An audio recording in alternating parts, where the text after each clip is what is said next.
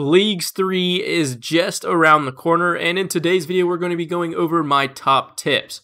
And first up, I do want to apologize if my voice sounds a little different. I'm currently a little stuffed up, but hopefully that doesn't become much of a problem. But without further ado, let's go ahead and jump straight in. And for our first tip, we have used the Trailblazer task list to help you plan. I believe it was Mod Oasis that confirmed, but it could have been somebody else in the league's Discord. But they confirmed that all of the tasks from Trailblazer are going to be in Leagues 3, while there might be a few minor changes, especially in terms of the points they reward. In general, and especially with all of the earlier on super simple tasks, they will be included. So make sure you take advantage of this. Go ahead and just scroll through all of the tasks on the Trailblazer wiki page. And when you're making your plan, or if you already have your plan, see what other additional tasks you can kind of throw in for free that you can basically just complete along the way. And before we hop into the next tip, I do want to mention one thing is that none of these tips are in a specific order, meaning that the first or last tip are not the most important. In reality, depending on your playstyle and your strategy, one of these tips might be more beneficial than any of the others. But for our next tip, this one's kind of also a double tip in one, and the first part of it is complete quest early, but the second part of it is take advantage of the XP multiplier increase when you complete bigger quests. But let's go ahead and dissect the first part of this tip first, which is complete quest early. What this part is referring to is super simple quests that don't give a ton of experience, but with a time 5 multiplier is still going to give you a decent chunk and a solid chance of getting a unique fragment. Some of these quests are things like Tribal's Totem, Client of Kourend, Queen of Thieves, Hazeel Cult, Fishing Contest, even quests that might give a slightly bigger chunk of XP like Sea Slug.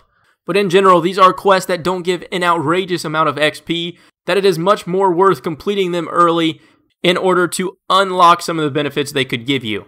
But now for the second part of this tip, and that is take advantage of the XP multiplier. We don't know the exact specifics of how the XP multiplier is going to work in this league, but we can kind of assume it's going to work pretty similar to how it did in Trailblazer.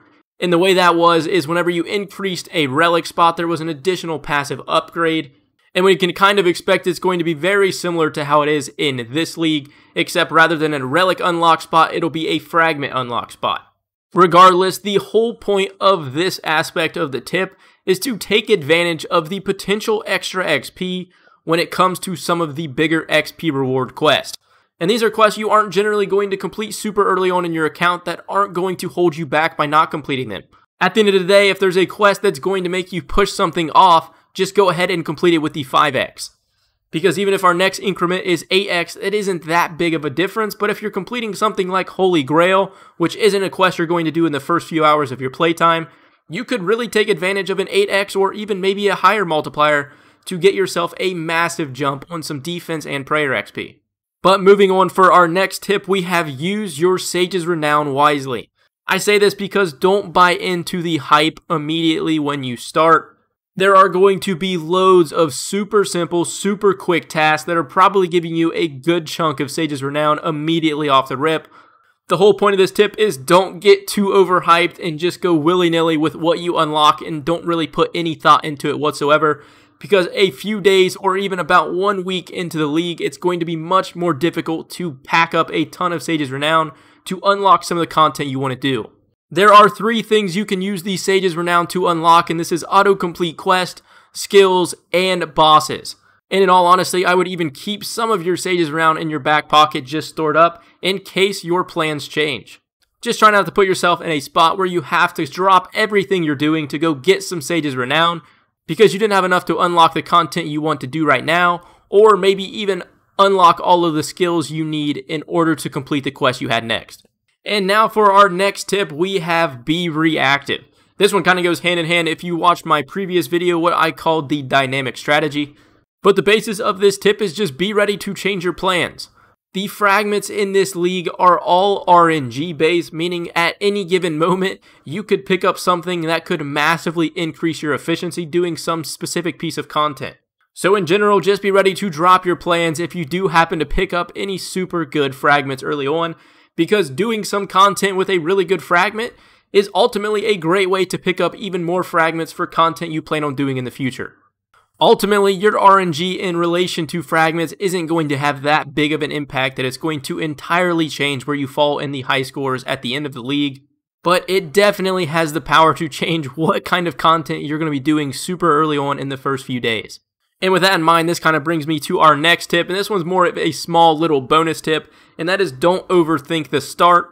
Because as I just said, your plans could literally change at any given moment with any XP drop.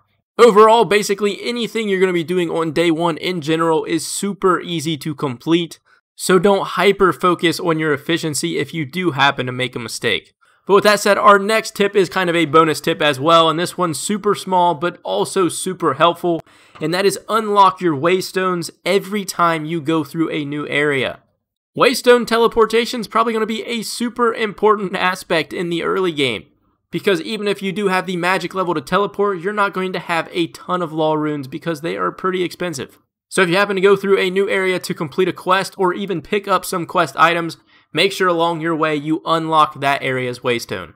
But with that, that brings us to our final tip, and this tip is do your own plan and have fun. If you're not a huge efficiency player in general, don't focus too much on what you're doing every single minute and don't focus on what another creator or a streamer is going to do with their plan. Do whatever you enjoy. This league has been shortened and it's only six weeks long. So at the end of the day, to get the most points, it's going to come down to how much you play and are having fun, not necessarily how efficient you are in the first few hours. But with that, that's everything I wanted to include in this video. If you guys did enjoy, hit that like button down below. It massively helps me out in these videos. Thank you guys so much for all of the support on the League 3 videos this far. And if you're not already and you are enjoying the content, make sure you subscribe to the channel so you don't miss any of these uploads. But thank you guys for watching, and I'll catch you in the next one.